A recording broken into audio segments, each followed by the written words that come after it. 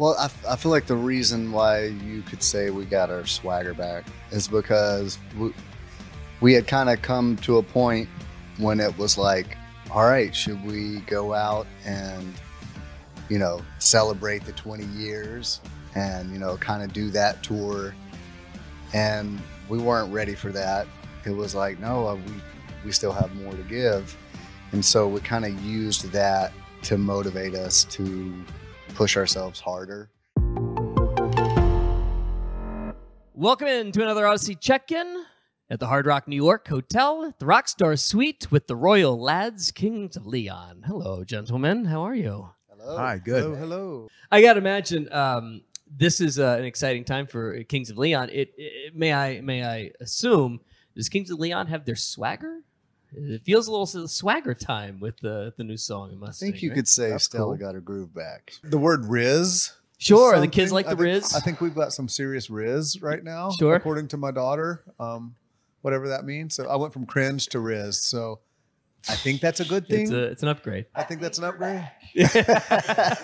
now, if you notice, all around you are, are things from the Mustang video. If you don't mind, uh, we've got some uh, groceries that have fallen out of the, the Oh, lady's that's hand. So you got a you got a crutch and a Mustang and, uh, balloons behind you. Okay. Uh, of course, the the masks that you can put on and don You at guys any are moment. awesome. Yeah, that's uh, for you. sure about this one. Yeah, in the big finale, we get to bust up open a pinata here in a second. That's very exciting. Oh, Dark yeah. Arm. See it. Uh-huh. Um, so you got the, you feel like you got the swagger back. Uh, it's weird. Like we're, s- have you guys started reflecting the fact that you're starting into decade three in this band? Uh, this is kind of a weird feeling. Twenty years in, and you're feeling like you got a swagger back. You reflect any on that? Sure. Um, well, I, f- I feel like the reason why you could say we got our swagger back is because we, we had kind of come to a point when it was like, all right, should we go out and, you know, celebrate the 20 years and, you know, kind of do that tour? And we weren't ready for that. It was like, no, uh, we, we still have more to give. And so we kind of used that to motivate us to push ourselves harder. And in the process, I guess you could say we, you know, we kind of got back to our really creative ways and being a little more fearless and not thinking about the outcome of the music and just making stuff for us that made us smile and um and so yeah that's that's how we made music in the beginning and that's how we made this album so i guess there's the connection What was the difference between you said how you started uh, making albums then and how you make them now? Uh, how was the process in between the beginning and now? Uh, what's different from say the last album and the album before? A lot less fun. Maybe we maybe we would overthink things at times. Where during this album, we just kind of, like you said, let it kind of let it all go. Or Yeah. yeah. I feel like you also kind of once you've had like a a successful album or a couple of songs that are big, you're either trying to not repeat that in a weird way to show yourself that you can do more, or you are kind of thinking about that a little bit. And I feel like with this album, we weren't thinking about any of that. It was, I I remember like I, I would have lyrics and I would be like, "Ooh, I know they're gonna hate it," because it was quirky and it was fun, but it was all very much like from an honest place, and everyone ended up loving it. And I feel like we owned who we are. We didn't write songs about California or New York or anything like that. It's like, no, let's write about our backyard. Let's talk about this, who we are right now, and be as honest as we can be. Um, and that reads, you know, when you hear music that's coming from that place, it's like, oh yeah, I like that because it's real. There's a big difference in making music that you think people want you to make and making music that you just feel and you want to make. And after success, a couple big songs or whatever, it is easy to kind of, well, we kind of found that formula that people liked and it was big for us. Um, this was the total opposite of that, at least for me. It was, we didn't have a record label at the time.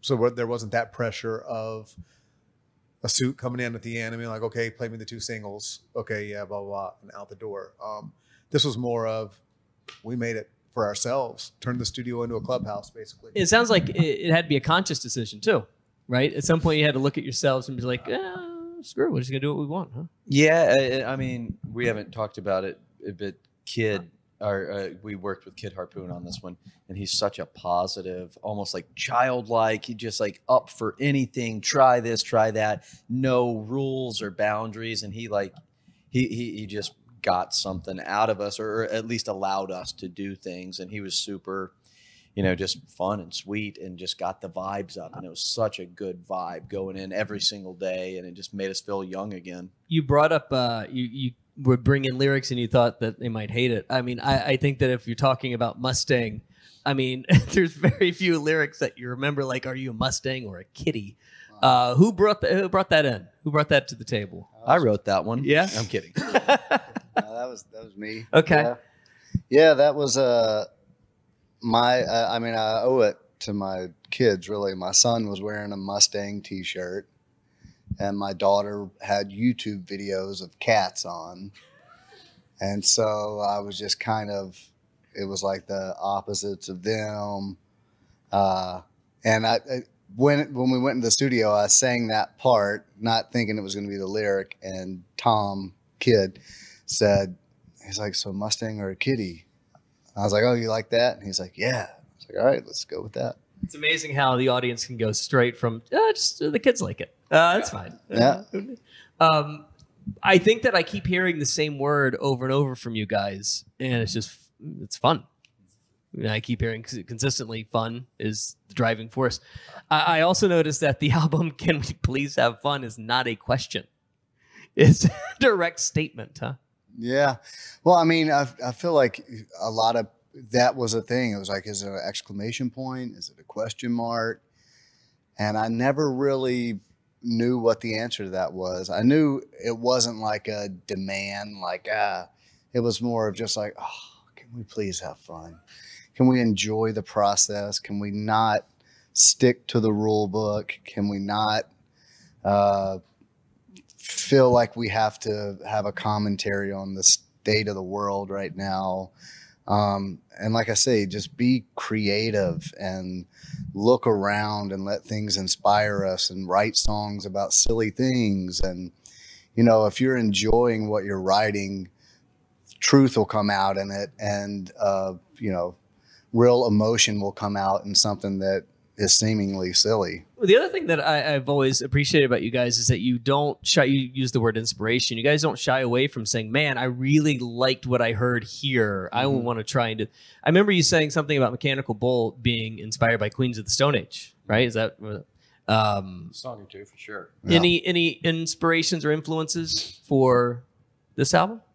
Uh, probably lots. Before we go in, we all try to get on the same kind of wavelength and get on the same page musically. And so we, I think we got a little playlist together and sent it around, and we would add to it, and you know, um, it, it- we all kind of bring our own stuff too. Like I was the only one that didn't listen to the playlist. I Yeah.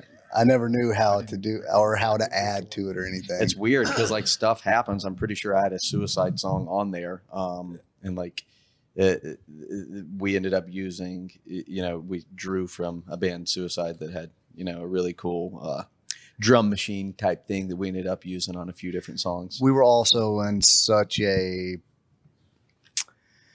creative mind space and we were all linked up. So it was a thing where I would hear a song and get inspired by it and be like, all right. And it would inspire a song.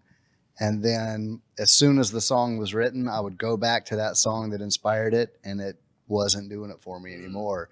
It was like I, I just used it for what I needed and like it gave me the juice. And then it was like, I don't know what made me hear that song or, or love it, but it gave us, you know, it gave us what we needed. I saw you guys last in 2010 at Bonnaroo, and I'm standing on stage with uh, watching the Flaming Lips, and I look to the left. I'm like, well, I think that's Kings of Leon, and I also think that's McLovin. uh, you guys are just palling around, walking around McLovin. Um, That's got to be one of your strangest strangest friends. He's he's a bud. He's still he's still one of our buddies. Um, he, He's a he- peer now. Oh, He's yeah. a band. He's a he's a, he's a band guy now. His name is Christopher. Yeah, so he's a peer now. Okay. But no, that was when you first meet him, and especially in a situation like that, it's Yeah. flaming lips. Other people are taking mushrooms. Sure, uh, much lots of we other asked people. him to stop. They kept doing it.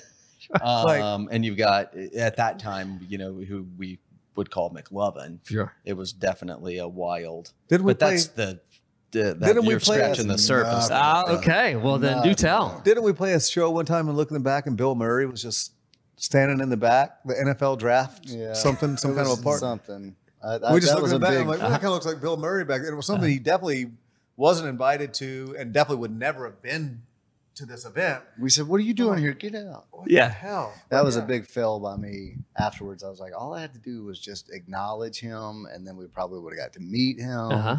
And you'd have a classic Bill Murray story, just like everybody else.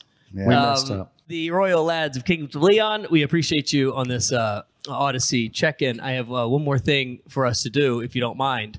There's a, because of the video, your Mustang video, we have a Mustang pinata hanging up for you to bash its head in if you would like. It's all yours. Cool. You want a piece? Yeah, that was a little aggressive. I'm sorry for that. like a little violent. Also, if you notice inside are Mustangs and kitties. I broke some stuff. I'm rich. Finish him. Back. This is cool. Oh yeah.